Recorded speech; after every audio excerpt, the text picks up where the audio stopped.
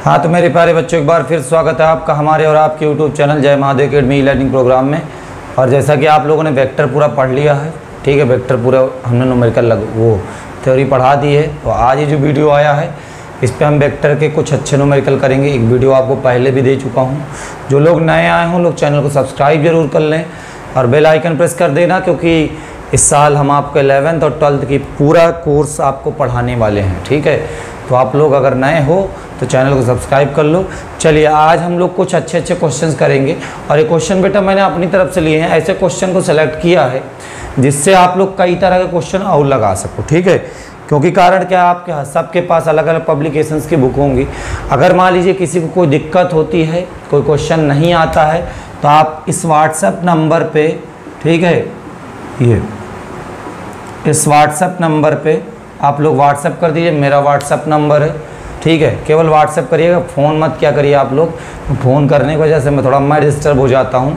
आप लोग जो भी चीज़ें हों, उसमें व्हाट्सअप कर दीजिएगा, मैं व्हाट्सएप ज़रूर देख लूँगा आपका, ठीक है? चलिए आते हैं, पहला क्वेश्चन मैंने आपके स्क्रीन पर लिखा हुआ है जैसे। ठीक है? Nine four five one five seven seven three eight four ये नंबर है हमारा। ठीक है, चलिए। क्वेश्चन में क्या कह रहा है? ये आपके सामने लिखा भी है हालाँकि। कह रहा दो बल थ्री पी व टू पी का परिणामी आर है। यदि पहले बल को दो गुना कर दें तो परिणामी दो गुना हो जाता है तो बलों के मध्य का कोण क्या होगा ठीक है? यहाँ पहले बल का नाम हम दे देते ए, जो कि कितना दिया गया है? थ्री पी दिया गया है। ठीक है? और दूसरा बल का नाम दे देते हैं बी, जो कि कितना दिया गया है? टू पी दिया गया है। अच्छा दो बलों के, दो सदिशों के परिणामी के लिए आपने सूत्र पढ़ा, R square equals to A square plus B square plus two A B cos theta मैंने आपको समांतर चतुर्भुज और त्रिभुज विधि दोनों में ये फार्मूला प्रूव करके दिखाया था। तो यहाँ पे बच्चे लोगों को देखो क्या है आर की जगह तो आर ही रखना है, ठीक है? ए की जगह हम थ्री पी रखेंगे बी की जगह टू पी रखेंगे। तो रख देते हैं भैया आर की जगह आर रखो ए की जगह थ्री पी रखो बी की जगह टू पी रखो और ए की जगह थ्री पी रखो बी की जगह टू पी रखो इंटू कॉस थीटा रख दो भाई, ठीक है? थीटा क्या है? ए और बी एंगल ए और बी के बीच का कोण, यानी ये थ्री पी और टू पी के बीच का कोण, जो कि हमसे पूछा गया है। तो आर स्क्वायर बराबर आ जाएगा भाई nine P square plus four P square और यहाँ हो जाएगा two three six two three जा ट्वेल्व सिक्स और सिक्स टू जा twelve twelve P square into cos theta तो आर स्क्वायर की एक वैल्यू मिल गई यहाँ से मुझे, तेरह पी स्क्वायर प्लस बारह बीस P square cos theta equation number first मान के छोड़ देना इसको। आगे क्या कह रहा है यदि पहले बल को दो गुना कर दें, पहले बल को कितना कर दें भाई? दो गुना कर दें तो परिणामी दो गुना हो जाता है। तो बलों के मध्य कोण बताओ। तो शर्त इनकी ये है कि पहले बल को कितने गुना करना है? दो गुना करना है। तो चलिए मैं पहले बल को दो गुना कर देता हूँ। लिखेंगे इनकी क्षरतानुसार शर्तानुसार। जो पहला बल ए है, पहले कितना था? थ्री पी था। इसको दो गुना कर दिए तो कितना हो गया भाई? सिक्स पी हो गया दूसरे बल को मत छेड़ना, दूसरा बल वही रहेगा टू पी और ना, नया परिणामी आर डैश मान लेते हैं। और ये परिणामी क्या है? पहले वाले परिणामी का दो गुना। पहले आर था, अब कितना हो जाएगा? टू आर हो जाएगा। तो बताओ यहाँ आर डैश के स्क्वायर के लिए फार्मूला लगाओगे। A square plus B square two A B cos theta अच्छा एक चीज़ और देखो, केवल परिणाम, पहले बल को बदला गया है, परिणामी बदल गया है, बीच का एंगल चेंज नहीं किया गया है थीटा नहीं डिस्टर्ब करेंगे, ठीक है? आर डैश की जगह बार मैं टू आर रखूँगा, पे स्क्वायर लगाएँगे, एक जगह मुझे सिक्स पी रखना पड़ेगा स्क्वायर लगाएँगे बी की जगह वही टू पी रखना है, का स्क्वायर लगाएँगे, एक जगह सिक्स पी रखेंगे, और बी की जगह two P into cos theta भैया, इसको कैलकुलेट करो आराम से, ये कितना आ जाएगा? फोर आर स्क्वायर आ जाएगा। बराबर में आ जाओ, क्या मिला? छत्तीस पी स्क्वायर प्लस चार पी स्क्वायर। मिलेगा छत्तीस पी स्क्वायर प्लस का चार पी स्क्वायर प्लस, ये कितना आ जाएगा? दो छंगे बारह दूनी चौबीस पी स्क्वायर। चौबीस पी स्क्वायर कॉस थीटा अच्छा आर स्क्वायर का मान हमने इक्वेशन नंबर फ़र्स्ट में निकाल रखा है। कितना निकाला? तेरह पी स्क्वायर प्लस बारह पी स्क्वायर कॉस थीटा समीकरण नंबर एक से आर स्क्वायर का मान रख देंगे। कितना रखेंगे आर स्क्वायर का मान? तेरह पी स्क्वायर प्लस बारह पी स्क्वायर कॉस थीटा तेरह पी स्क्वायर प्लस बारह पी स्क्वायर कॉस थीटा बराबर में है छत्तीस चार चालीस पी स्क्वायर प्लस का 24 पी स्क्वायर कॉस थीटा। आराम समझना, क्वेश्चन एकदम हलवा बना देंगे। इतना कठिन उठिन कुछ नहीं है। अच्छे लेवल के क्वेश्चन हैं, लेकिन ये सब जितने अभी आज मैं करवाने वाला हूँ। तो तेरह चौको बावन पी स्क्वायर हो जाएगा, प्लस हो जाएगा बारह चौके अड़तालीस पी स्क्वायर, कॉस थीटा बराबर चालीस पी स्क्वायर, प्लस चौबीस पी स्क्वायर कॉस थीटा। तो बच्चा एक काम करो पी कॉस थीटा वाले एक तरफ़, या तो पी स्क्वायर अगर कैंसिल कर देना तो यहाँ अड़तालीस कॉस थीटा बचेगा प्लस का चौबीस कॉस थीटा इधर आएगा माइनस का चौबीस कॉस थीटा हो जाएगा, बराबर चालीस माइनस प्लस का बावन उधर जाएगा माइनस का बावन तो ये अड़तालीस से चौबीस घटाओ, चौबीस कॉस थीटा बराबर आ गया माइनस में प्लस में आ गया सॉरी और चालीस से बावन घटाओ माइनस का बारह कॉस थीटा की वैल्यू आएगी बच्चा माइनस वन बाई टू और ये मान होता है कॉस एक सौ बीस डिग्री का। थीटा हो गया, बताओ कितना? एक सौ बीस डिग्री। तो मध्य का कोण यानी बीच का कोण कितना हो जाएगा? 120 डिग्री। समझ में आया आप लोगों को? नोट कर लीजिए। क्वेश्चन भी लिख दिया हूँ, उसका पूरा सल्यूशन भी, ठीक है? लोग नोट कर लीजिए तो फिर आगे बढ़ें। बढ़े आगे? क्यों भाई, बढ़ जाए। चलिए, सर, आसान सवाल था ना? देखने में बड़ा खतरनाक लग रहा था, लगा नहीं, समझ में नहीं आया कैसे लग गया। एक बार देखो, ना आए ना समझ में तो दोबारा थोड़ा बैक करके एक बार फिर से देख लिया करो। और ये सब क्वेश्चंस बड़े इंपॉर्टेंट सवाल हैं। इससे ज़्यादा टफ तुम्हारे एग्ज़ाम में नहीं आने वाला है।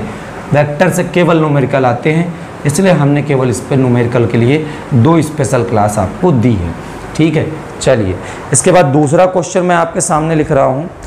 ये दिया गया है, यदि बिंदु ए का स्थित सदिश, दूसरा क्वेश्चन ये है, यदि बिंदु ए का स्थित सदिश, मैंने क्वेश्चन लिख कर लाए हैं खुद, दिया है two I cap plus three J cap plus four K cap हो वह बिंदु बी का स्थित सदिश, वह बिंदु बी का स्थित सदिश, तुम लोग भी लिखते रहो ना लायको बैठे ना रहो। स्थित सदिश, ये दिया गया है five I cap, plus six J cap, plus seven K cap, ठीक है? प्लस फोर के कैप है sorry plus four K cap.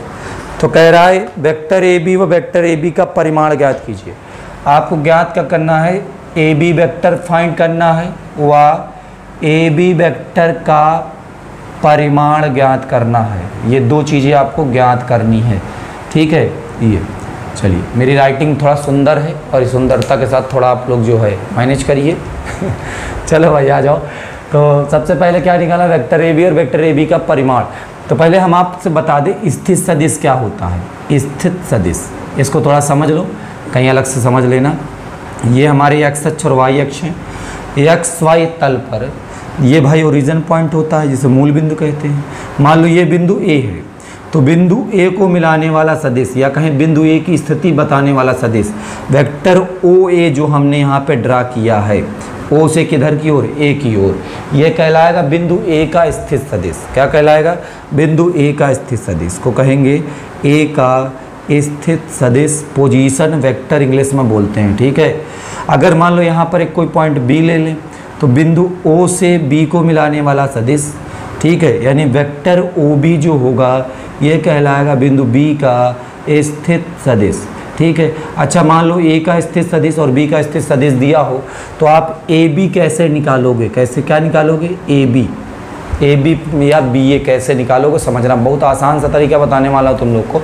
जैसे आप लोग एक ट्राइंगल ला होता, भैया वेक्टर में समझ लो पहले। ये एक वेक्टर, एक ट्राइंगल है ए बी सी अगर मान लो इसकी डायरेक्शन ए टू बी हो ए से बी की ओर, इसकी डायरेक्शन बी टू सी हो बी से सी की ओर, और इसकी डायरेक्शन सी टू ए हो सी से ए की ओर तो vector A B plus vector B C plus vector C A का मान होता है ज़ीरो मतलब जहाँ से चले, अगर वहीं पे आ जाते हो ए बी बी सी सी ए तो इसका मान क्या हो जाएगा? ज़ीरो हो जाएगा. अच्छा इसमें एक बात और समझो. और एक चीज़ याद रखना. अगर मान लो इसी में मैं इसको थोड़ा सा आगे कैलकुलेट करता हूँ. A B vector plus B C vector बराबर लिखें तो माइनस का सी ए वैक्टर आएगा. बताओ भाई. प्लस का सी ए था, उधर गया माइनस सी ए तो मिल जाएगा A B vector plus B C vector बराबर ए सी वेक्टर कह सकते हैं. देखो सी ए का मतलब है सी से ए की ओर और ए सी का मतलब ए से सी की ओर. तो केवल मतलब चेंज वो माइनस से प्लस कर देने पर डायरेक्शन चेंज होगी मैग्नीट्यूड चेंज नहीं होता है. अच्छा इस कंडीशन का अगर हम चित्र बनाएँ, ये वाले में देखो ए बी वेक्टर है मतलब ए से बी की ओर एरो लगा देंगे, फिर उसके बाद बी सी वेक्टर है मतलब बी से सी की ओर लगा देंगे, बराबर में ए सी वेक्टर है ए से सी की ओर। तो यहाँ पे देखो क्या है ए बी बी सी बराबर ए सी यहाँ पे क्या था ए बी बी सी सी ए बराबर ज़ीरो अगर मतलब सब एक ही डायरेक्शन में मिल रहे हो तो टोटल कितना आना? ज़ीरो और अगर मान लो दो एक डायरेक्शन में, तीसरा अलग डायरेक्शन में है तो ए बी बी सी इजकस टू क्या हो जाएगा? ए सी हो जाएगा। ये समझ में आया यहाँ पे? अब आप थोड़ा इसको समझना गौर से, यहाँ पे क्या है? यहाँ पे ओ ए ए बी बराबर ओ बी होगा भाई। नहीं समझे? ओ से ए देखो ए से बी देखो। अब ये बी से ओ होता तो ज़ीरो कर देते, लेकिन ये ओ से बी है। तो यहाँ पे आप कहोगे O A vector plus A B vector is to O B vector. बताओ भाई, समझ में आ रहा ना? अब यहाँ से ओ, ए बी वैक्टर अगर फाइंड आउट करें तो कितना आ जाएगा? O B vector minus O A vector. ठीक है, ये। तो वेक्टर ए बी बराबर क्या आ गया? O B minus O A. O B minus O A का मतलब बी का सदिश बी का सदिश माइनस बताओ क्या? ए का सदिश। बी का सदिश माइनस क्या? ए का सदिश। और ये किसका मान है? वेक्टर ए बी का मान है। अगर मान लो, मैं आपसे ऐसे समझो। वेक्टर ए बी बराबर क्या आ रहा? बी का सदिश माइनस ए का सदिश। जैसे मान लीजिए, मुझे दो पॉइंट पी और क्यू का पोजीशन वेक्टर दिया हो। दो पॉइंट एक पी हो, दूसरा पॉइंट क्यू हो, उनका पोजीशन वेक्टर दिया हो। और मुझसे पूछ ले पी क्यू वेक्टर क्या होगा? तो मैं लिखूँगा क्यू का स्थित सदिश माइनस पी का स्थित सदिश। बात समझ में आ रही कि नहीं भाई? अगर मान लो पी क्यू वेक्टर पूछा है तो क्या हो जाएगा? क्यू का स्थित सदिश माइनस पी का स्थित सदिश। और अगर मान लो वेक्टर क्यू पी निकालना हो तो बताओ क्या हो जाएगा? इसके लिए हो जाएगा पी का स्थित सदिश और माइनस का क्यू का स्थित सदिश। तो इस तरह से बच्चा हम लोग निकालते चलेंगे। ठीक है? आपका क्वेश्चन इसी पे है। अच्छा इसमें से जो आपको इंपॉर्टेंट या ज़रूरी लग रहा हो, काम की चीज़ लग रही है, उसको नोट कर लो। रफ कर दो इसे मैं? रफ कर दूँ तो चलो। नोट कर लिया करो इसीलिए कोपचे में हट जाते हैं हम किनारे में, कि तुम लोग नोट नहीं करते हो, ना लाइक को सोचते हो ये क्या करेंगे, जान करके। सब चीज़ का कुछ ना कुछ महत्व होता है। कभी कभी सवालों में आ जाता है कि स्थित सदिश ये हैं, स्थित सदिश वो हैं। बच्चा कहता सर, आप तो स्थित सदिश पढ़ाए नहीं हैं। सब पढ़ाएँगे, बच्चों का है परेशान तो यहाँ पे दिया गया है, एक यदि बिंदु ए का स्थित सदिश तो ए के स्थित सदिश को बच्चों किससे लिखोगे अगर ओरिजिनल पॉइंट के रेस्पेक्ट में ले रहे हो तो ओ ए से लिखेंगे। बराबर कितना दिया भैया? टू आई कैप प्लस का थ्री जे कैप प्लस का फोर के कैप उसके बाद बिंदु बी का स्थित सदिश यानी हम अगर ओ के रेस्पेक्ट में लिखेंगे तो ओ बी बराबर लिखेंगे। कितना दिया है? फाइव आई कैप प्लस का सिक्स जे कैप प्लस का फोर के कैप ठीक है? ये। अब आपसे पूछा गया वेक्टर ए बी का मान क्या होगा? वेक्टर ए बी का मान क्या होगा? अभी जो मैंने आपको बताया, उसी के बेस पे बोलो। ए बी वेक्टर निकाल रहे हो तो बी के पोजीशन वेक्टर से क्या घटाओगे भाई? ए का पोजीशन वेक्टर। मतलब ये बराबर होगा ओ बी माइनस बताओ किसके? ओ ए के। अब ओ बी का मान ये आपके सामने लिखा है। Five I cap plus six J cap plus का फोर के कैप माइनस करोगे तो सबके चिन्ह बदल जाएँगे। टू आई कैप माइनस का थ्री जे कैप माइनस का four K cap. Four K cap से फोर के कैप कैंसिल कर दें। अब बताओ, फाइव आई कैप से two J I cap minus करोगे तो कितना बचेगा? थ्री आई कैप बचेगा। सिक्स जे कैप से थ्री जे कैप माइनस करोगे तो थ्री जे कैप बनेगा ये बताओ किसका मान गया? वेक्टर ए बी का। तो एक तो आपसे पूछा था, वेक्टर ए बी बताओ। और दूसरा पूछा था, वेक्टर ए बी का परिमाण बताओ। यानी आपको बताना है केवल ए बी का मान क्या होगा। तो मैंने आपको परिमाण निकालने का तरीका बताया था, रूट ऑफ़ आई कैप के गुणांक वर्ग प्लस जे कैप के गुणांक वर्ग तो आई कैप के गुणांक वर्ग मतलब तीन का स्क्वायर, जे कैप के गुणांक मतलब फिर तीन का स्क्वायर। तो बच्चे बताओ, तीन का स्क्वायर नौ हो जाएगा, इस वाले तीन का स्क्वायर नौ तो हो जाएगा रूट अठारह मात्रक। ये बताओ क्या निकल? वेक्टर ए बी का परिमाण। क्वेश्चन क्लियर हुआ कि नहीं भाई? किसी को कम समझ में आ रहा, ना समझ में आ रहा तो बता दो। नोट कर लीजिए आप लोग इस क्वेश्चन को, फिर मैं आगे बढ़ता हूँ, ठीक है? नोट कर लिए? ठीक, वीडियो रोक लिया करो, आराम से नोट करते रहा करो। बगल में हम खड़े रहेंगे, हमको भी देखते रहा करो, ठीक है? वैसे भी हम पढ़ाने आते हैं तो पता तीन चार सौ ग्राम एंड लवली लगा के आते हैं, क्योंकि तुम लोग को अगर सुंदर नहीं लगेंगे तो तुम लोग कहाँ पढ़ोगे यार? आजकल के बच्चे ना, टीचर सुंदर बहुत देखते हैं, कितना सुंदर टीचर है। चलो, छोड़ो अच्छा। आ जाओ। तीसरा क्वेश्चन मैंने आप सामने क्या लिया है? समझना। तीसरा क्वेश्चन पहले क्वेश्चन लिख देता हूँ। दिया गया किसी कण पर, किसी कण पर, तुम लोग भी लिखना शुरू हो जाओ भाई। साथ साथ लिखा करो। किसी कण पर four I cap plus J cap four I cap plus J cap newton का बल लगाकर, न्यूटन का बल लगाकर बल लगाकर कह रहा है, वस्तु को three I cap plus two J cap वस्तु को three I cap plus two J cap metre से चौदह आई कैप प्लस तेरह जे कैप चौदह आई कैप प्लस तेरह जे कैप मीटर की स्थिति पर विस्थापित किया जाता है, की स्थिति तक स्थिति तक विस्थापित किया जाता है, विस्थापित किया जाता है। किया जाता है। ठीक है।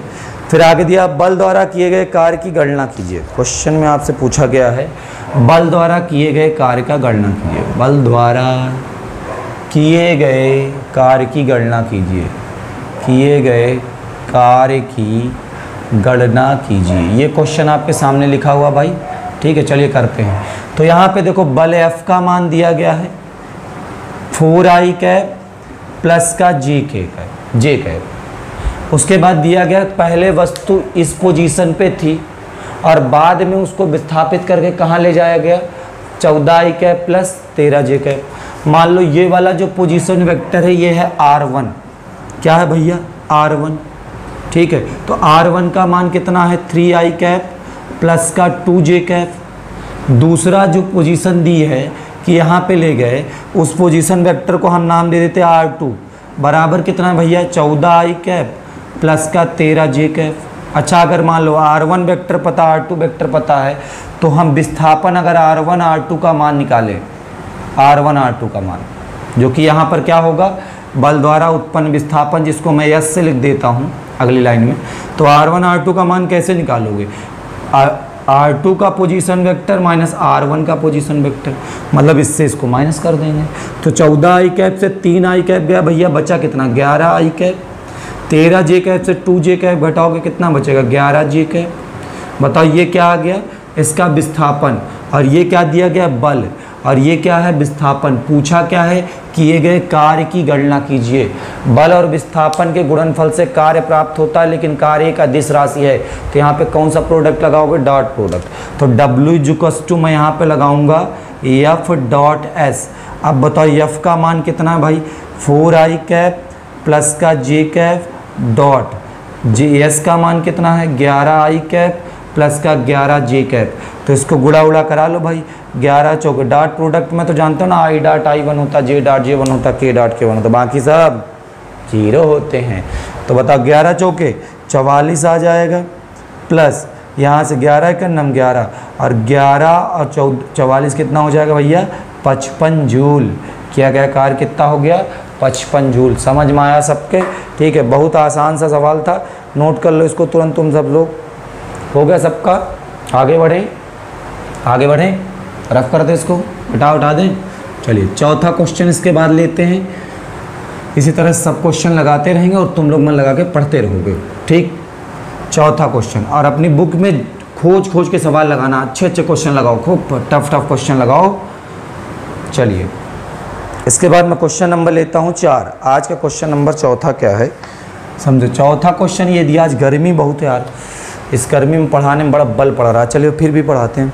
दिया दो सदिशों वेक्टर ए व वेक्टर बी। ये लिखा है, दो सदिशों वेक्टर ए व वेक्टर बी के योग व अंतर परस्पर लंबत हैं। के योग व अंतर परस्पर लंबवत हैं। परस्पर क्या है भाई? लंबवत हैं। ठीक है, ये सवाल वाले बोल रहे हैं, हम नहीं बोल रहे हैं। सिद्ध करो, दोनों सदिश परिमाण में बराबर होंगे। सिद्ध करना है सवाल को। सिद्ध करो, दोनों सदिश परिमाण में बराबर होंगे। परिमाण में क्या होंगे? बराबर होंगे। ये हमें प्रूव करके लाना क्वेश्चन में। चलिए क्वेश्चन देखते हैं। क्या दिया? वेक्टर और वेक्टर बी का योग व अंतर यानी vector A plus vector B हो गया योग, और vector A minus vector B हो गया अंतर। कह रहा, दोनों लंबवत है मतलब vector A plus vector B is the perpendicular on बताओ vector A minus vector B और अगर ये दोनों परपेंडिकुलर हैं तो दोनों का डॉट प्रोडक्ट क्या होगा? ज़ीरो हमने बताया था, जब भी परपेंडिकुलर के लिए कहता है तो डॉट प्रोडक्ट को ज़ीरो करते हैं, और जब पैरेलल के लिए कहता है तो क्रॉस प्रोडक्ट को ज़ीरो करते हैं। तो यहाँ पर हम क्या करेंगे? Vector A plus vector B का vector A minus vector B के साथ डॉट प्रोडक्ट को क्या कर देंगे? ज़ीरो अब बताओ भैया, इसका गुणा कराएँ तो मिलेगा vector A dot vector A फिर इसका इसके साथ मिलेगा minus vector A dot vector B इसका इसके साथ क्या मिलेगा? Vector A dot vector B plus में, फिर इसका इसके साथ क्या मिलेगा? Vector B dot vector B equals to zero ये देखो, दोनों कैंसिल हो जाएँगे। Vector A dot vector A का मान ए स्क्वायर होगा। कैसे होगा? हमने बताया किसी सदिश का, उसी सदिश साथ अधिक गुणनफल वर्ग के बराबर होता है। ये माइनस बी स्क्वायर होगा बराबर ज़ीरो तो स्क्वायर बराबर किसके आ जाएगा? बी स्क्वायर के तो इन्हें बराबर किसके आ जाएगा भैया? बी के। ठीक है, चौथा क्वेश्चन भी आप लोग नोट कर लो, बहुत आसान सा सवाल था। आया समझ में? तो चलो देख लेते हैं इसका क्वेश्चन नंबर पाँच क्या है। मैं क्वेश्चन बोल रहा हूँ, आप लोग क्वेश्चन ज़रूर नोट कर लिया करिए साथ में। यह यदि घास के एक रोलर यदि घास के एक रोलर रोलर मतलब समझ रहे हो तुम लोग? के हत्थे को, के हत्थे को 50 न्यूटन के बल से खींचा जाता है। के बल से खींचा जाता है। बहुत आसान सा सवाल है ये वाला ऐसे खींचा जाता है।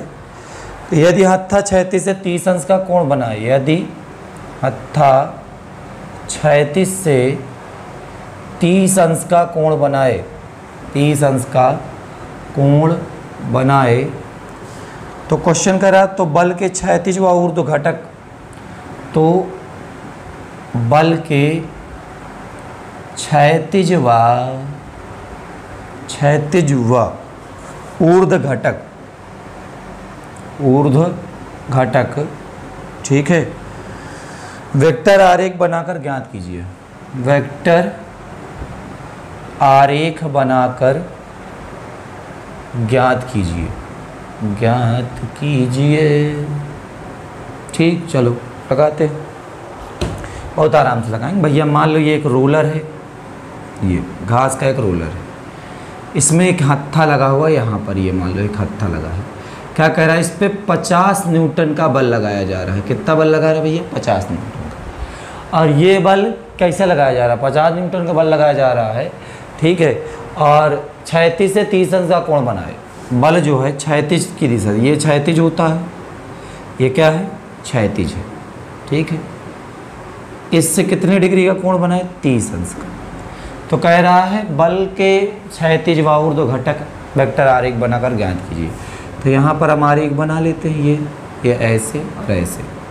मान लो इधर वाला जो घटक आएगा वो एफ़ वन है और इधर वाला जो घटक आएगा वो क्या है? एफ़ टू है। ठीक है? तो हमने बताया था जिससे थीटा एंगल जुड़ा हो, यहाँ पर जो वेक्टर एफ़ वन आएगा, ठीक है? इसका मान किसके बराबर होगा भैया? पचास कॉस तीस के बराबर। बताए थे जो जिससे थीटा जुड़ा हो कॉस के पदों में होता है, और जो इसके परपेंडिकुलर हो साइन के पदों में होता है। तो एफ़ वन का मान हो जाएगा पचास कॉस तीस। कॉस तीस का मान under root three by two बताओ कैंसिल करोगे twenty five twenty five root three की value one point seven three two multiply करा दो, पच्चीस दूना पचास, पच्चीस दिया पचहत्तर, पाँच अस्सी, पच्चीस सत्य कितना होता है भाई? एक सौ पचहत्तर, एक सौ पचहत्तर आठ, एक सौ पचहत्तर आठ बताओ, एक सौ तिरासी, पच्चीस करनम पच्चीस, अठारह, तिरालीस, ठीक है? तो बताओ कितना आ जाएगा? छैतीस घटक, क्या आ गया? छैतीस घटक, ठीक है? एफ़ वन का मान आ गया तिरालीस दशमलव तीन न्यूटन। ये। इसके बाद अगर हम इसके ऊर्ध घटक का मान निकालें, किसका मान निकालें? ऊर्ध्व घटक। उसको हमने क्या दिया? एफ़ टू और ऊर्ध्व घटक परपेंडिकुलर होता है जो कि कौन रिप्रेजेंट करता है? साइन। तो एफ़ टू का जो मान होगा बच्चा, वो होगा पचास साइन तीस के बराबर। और साइन तीस का मान तो यार जानते हो गए एक बटा दो। कैंसिल कर लो, कितने न्यूटन आ गया बताओ? पच्चीस न्यूटन। तो इसके ऊर्ध घटक का मान हो जाएगा पच्चीस न्यूटन और घटक का मान होगा तिरालीस दशमलव तीन न्यूटन। समझ में आया? क्यों भाई? आ गया रफ कर दे, आगे बढ़े फिर। चलो, हटा देते इसको भी। नोट कर लिया करो क्वेश्चन सब। चित्र बना के लगाना था इस सवाल को तो हमने चित्र बनाकर ही लगाया है। तुम लोग को समझ में भी आया है। ठीक है? और कोई समस्या हो, कोई चीज़ ना समझ में आए तो पूछ भी लिया करो। ठीक भाई? चलिए अगला क्वेश्चन देखते हैं। अच्छा हाँ। और मन लगा के पढ़ना, अपनी सारी जो भी किताब हो तुम्हारे पास, किताब को अच्छी तरह से पूरा सॉल्व किया करो। खूब मन लगा के पढ़ो फिजिक्स में ढेर सारे क्वेश्चन लगाया करो। अगला क्वेश्चन नंबर दिया गया छठवां। कह रहा है, वह शर्त बताओ, वह शर्त बताओ। क्वेश्चन आप लोग लिख लीजिए, शर्त बताओ। जिसमें, जिसके लिए जिसके लिए ए डॉट बी का स्क्वायर बराबर ए बी के होगा। बराबर ए स्क्वायर बी स्क्वायर के होगा। इसके लिए शर्त हमें बतानी है। तो बहुत सिंपल है भैया, इसी को सॉल्व कर लो बस। ए डॉट बी का फार्मूला क्या होता है बताओ बच्चा? ए बी कॉस थीटा पे स्क्वायर लगा दे। बराबर में ए स्क्वायर बी स्क्वायर है। तो बताओ ये क्या आएगा? ए बी कॉस थीटा का square A square B square cos square theta आएगा। बराबर ए स्क्वायर बी स्क्वायर ये दोनों कैंसिल हो जाएँगे।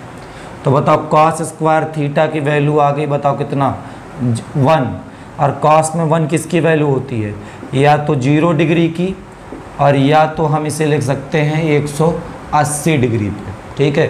तो मतलब जब थीटा का मान ज़ीरो हो या 180 हो तो ए डॉट बी का स्क्वायर बराबर vector A dot vector B का स्क्वायर बराबर ए स्क्वायर बी स्क्वायर होगा। हलवा सवाल था, कुछ था ही नहीं इसमें, ठीक है? नोट करो सब लोग नोट कर लिए। चले, आगे बढ़ें। क्यों भाई? चलिए, छठवें के बाद सतवां सवाल देख लेते हैं। रोक लिया करो वीडियो एक मिनट के लिए। क्वेश्चन लगने के तुरंत बाद नोट करो, ठीक है? और अच्छी से फेयर बना लो। सातवां क्वेश्चन देखो क्या दिया गया है। कह रहा है, ये सातवां क्वेश्चन, कि मैं इसको लिखता हूँ। दिया गया तीन सदिश तीन सदिश, वेक्टर ए, वेक्टर बी व वेक्टर सी। ठीक है? कह रहा, इस प्रकार हैं, इस प्रकार हैं। ठीक है? कि वेक्टर ए बराबर vector B plus vector C. ये क्वेश्चन वालों ने दिया है। और इनके परिमाण पाँच, चार व दो हैं। व, इनके परिमाण जो हैं, पाँच, चार, कामा दो हैं। पाँच है, चार है, व दो है। ठीक है? पाँच, चार, कामा दो है। तो कह रहा, वेक्टर ए व वेक्टर सी के बीच का कोण बताओ। तो उनसे क्वेश्चन में पूछा है, वेक्टर ए व वेक्टर सी के बीच का कोण बताओ कितना होगा? ठीक है? तो यहाँ पे देखो, इस तरह का क्वेश्चन मैंने पिछले वीडियो में भी करवाया था। एक क्वेश्चन आज फिर से लेके आया हूँ। थोड़ा आराम समझना। देखो भैया, यहाँ पे वेक्टर ए, बी और सी के परिमाण दिए हैं पाँच, चार और दो। वेक्टर ए का परिमाण मतलब ए का मान है पाँच वेक्टर बी का परिमाण मतलब बी का मान है चार, वेक्टर सी का परिमाण सी का मान है दो। शर्त आपको दी है कि वेक्टर ए बराबर है, बताओ किसके vector B plus vector C के। ठीक है? अच्छा इसमें एक बात याद रखना, जब भी जिन दो के बीच का कोण पूछे, उनको एक तरफ़ रखो, बाकी लोगों को एक तरफ़। यहाँ पे मुझसे पूछा ए और सी वेक्टर के बीच का एंगल बताओ। तो मैं वेक्टर ए और वेक्टर सी को एक तरफ़ रखूँगा। तो ये माइनस में वेक्टर सी आएगा, बराबर में बचेगा वेक्टर बी। अब इसके बाद आप दोनों पक्षों पे वर्क लगा देना स्क्वायर कर देना। तो यहाँ पे हो जाएगा वेक्टर ए का स्क्वायर प्लस वेक्टर सी का square minus two vector A dot vector C बराबर वेक्टर बी का स्क्वायर ठीक है? वेक्टर ए का स्क्वायर ए स्क्वायर आएगा। भाई ए डॉट ए लिखोगे, आएगा तो ए स्क्वायर ना। वेक्टर सी का स्क्वायर सी स्क्वायर आएगा। ए डॉट सी का फार्मूला होता है ए सी कॉस थीटा अच्छा यहाँ पे ये थीटा बताओ क्या है? तो vector A dot vector C का फार्मूला लिखो ना, ए सी कॉस थीटा। तो यह थीटा होगा वेक्टर ए और वेक्टर सी के बीच का कोण, जो कि हमसे क्वेश्चन में पूछा है। अब इसी तरह मुझसे बी और सी के बीच का एंगल पूछा होता तो यहीं पे मैं स्क्वायर कर देता। और वहाँ पे आता two vector B dot vector C, फिर हम उसको लिखते हैं two B C cos theta. तो थीटा किसके बीच का एंगल हो जाता है वेक्टर बी और वेक्टर सी के बीच का कोण। तो जिन दो के बीच का पूछे, उनको एक तरफ़ करके स्क्वायर कर देना, क्वेश्चन खत्म हो जाएगा। वेक्टर बी का स्क्वायर, केवल बी स्क्वायर आएगा। अब बताओ, ए स्क्वायर करोगे तो पच्चीस, सी स्क्वायर करोगे तो चार, ए का मान है पाँच सी का मान है, दो इंटू कॉस थीटा बराबर बताओ बी का मान चार का स्क्वायर क्या आएगा? सोलह। समझ में आया ना भाई? पच्चीस चार कितना हो गया बोलो? उनतीस हो जाएगा माइनस ये हो जाएगा पाँच दूनी दस दूनी बीस। ठीक है, बीस कॉस थीटा बराबर में कितना आपका? सोलह। अब ये बताओ माइनस बीस कॉस थीटा बराबर हो जाएगा, सोलह माइनस का उनतीस। समझ में आ रहा है ना सबके? बताओ, माइनस बीस कॉस थीटा बराबर हो गया माइनस का तेरह। ये दोनों कैंसिल हो जाएँगे कॉस थीटा का मान तेरह बटे बीस। आपसे थीटा केवल पूछा है तो ये हो जाएगा कॉस इनवर्स तेरह बटे बीस। ठीक है? ये हो जाएगा वेक्टर ए और वेक्टर सी के बीच का कोण। आया समझ में? ठीक है?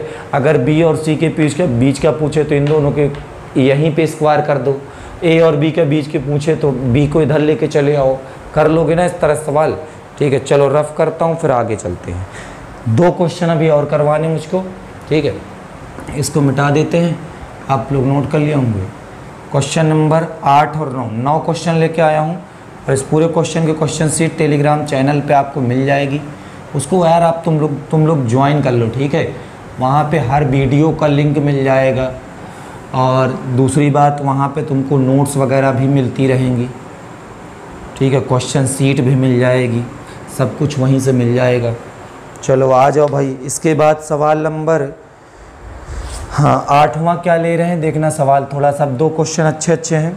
दिया गया, यदि वेक्टर ए बराबर, वेक्टर ए बराबर three I cap plus two J cap minus K cap हो, वह वेक्टर बी बराबर, ये दिया गया है, बारह I cap plus five J cap minus five K cap हो तो इन पर लंब सदिश का मान ज्ञात कीजिए। तो क्वेश्चन में पूछा है, इन पर लंब सदिश का मान बताओ। लंब वेक्टर का मान बताओ या लंब सदिश का मान बताओ? ठीक है तो लंब सदिश का मान। पहले मैं आपको एक बार फिर से याद कराऊँ। याद करिए, वेक्टर ए था ये वेक्टर बी था, जो इनके तल पर लेते हो, डॉट प्रोडक्ट होता है। और जो दोनों पे परपेंडिकुलर हो ये चीज़, ये क्या होता भैया? दोनों का क्रॉस प्रोडक्ट होता है। मतलब जो क्रॉस प्रोडक्ट होगा, वही दोनों पे लंबवत होता है। आपने क्रॉस प्रोडक्ट में फार्मूला क्या पढ़ा था? ए क्रॉस बी बराबर A B sine theta N cap याद आया? ठीक है तो A B sine theta N cap तो इसमें बच्चे लोगों को जो ये एन कैप लिखा है, क्या लिखा है?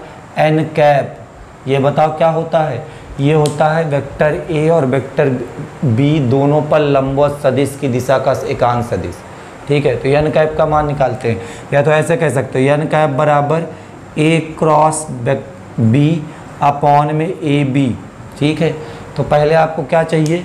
ए क्रॉस बी चाहिए। तो पहले मैं ए क्रॉस बी निकाल लेता हूँ। ए क्रॉस बी निकालने का तरीका बताए थे। ये सार्डिक लगाओ। आई कैप जे कैप और के कैप लिखते हो। अब बताओ वेक्टर ए में आई के लिए तीन, दो माइनस एक आया है। वेक्टर बी में बारह, पाँच माइनस पाँच आया है। इसको कैलकुलेट करोगे आप तो आई कैप लेने पे ये और ये लाइन कैंसिल माइनस का दस माइनस माइनस प्लस का पाँच हो जाएगा। इसके बाद प्लस आई कैप के बाद अगला माइनस जे कैप लोगे। ये कैंसिल ये कैंसिल कितना आएगा? माइनस का पंद्रह माइनस माइनस प्लस का बारह। अच्छा जो लोग देखो ये सब चीज़ नहीं समझ पा रहे हैं, लोग जाके पहले इसकी थ्योरी पढ़ लो, उसके वीडियोस पढ़े हुए तीन चार पार्ट तब समझ में आएगा। प्लस माइनस फिर प्लस का के कैप लोगे भाई।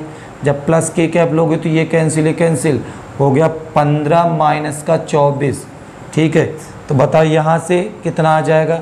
माइनस का फाइव आई कैप ये हो जाएगा माइनस माइनस प्लस का थ्री जे कैप ये हो जाएगा भैया पंद्रह से चौबीस घटाओ तो माइनस का नाइन के कैप, ये किसका मान निकला है?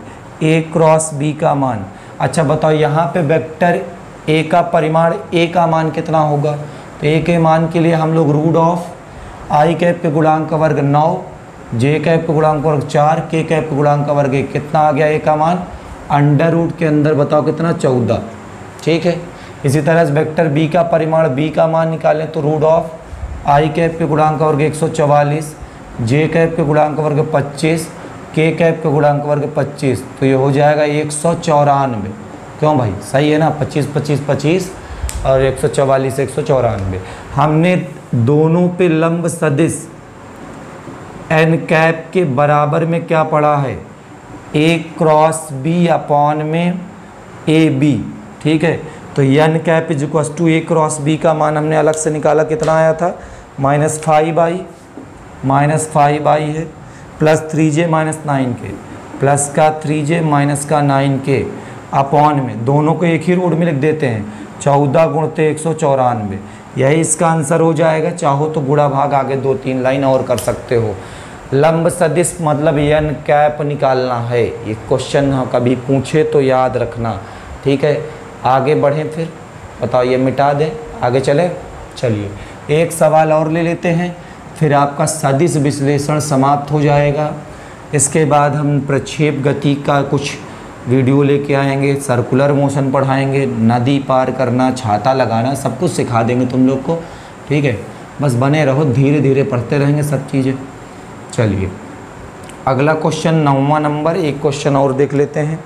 यहाँ पे क्या कह रहा है? ये क्वेश्चन ये दिया गया है कि यदि वेक्टर ए बराबर ये दिया है, यदि वेक्टर ए बराबर थ्री आई कैप प्लस का टू जे कैप माइनस का फाइव के कैप और उसके बाद दूसरा वेक्टर बी दिया गया है, दूसरा वेक्टर बी बराबर दिया गया फाइव आई कैप प्लस का टू जे कैप माइनस का सिक्स के कैप ठीक है? तुमसे पूछा vector A plus vector B और vector A minus vector B के बीच का कोण बताओ। Vector A plus vector B और दूसरा है vector A minus vector B के बीच का कोण बताना है। तो vector A plus vector B को हम मान लेते हैं, जोड़ने पे जो आएगा वो नया वेक्टर पी होगा। मैं अपने से माने हैं, ठीक है? वेक्टर और वेक्टर बी को घटाने के बाद जो नया वेक्टर आएगा उसको मान लेते हैं क्यू तो बच्चा, जब दोनों को जोड़ोगे तो पाँच तीन कितना हो जाएगा? आठ आई कैप। ये हो जाएगा दो दो कितना? चार जे कैप। अब बताओ ये कितना हो जाएगा? माइनस का ग्यारह के कैप। वेक्टर क्यू निकालोगे? तीन में से पाँच जाएगा, माइनस का टू आई कैप दो से दो जाएगा, ज़ीरो हो जाएगा।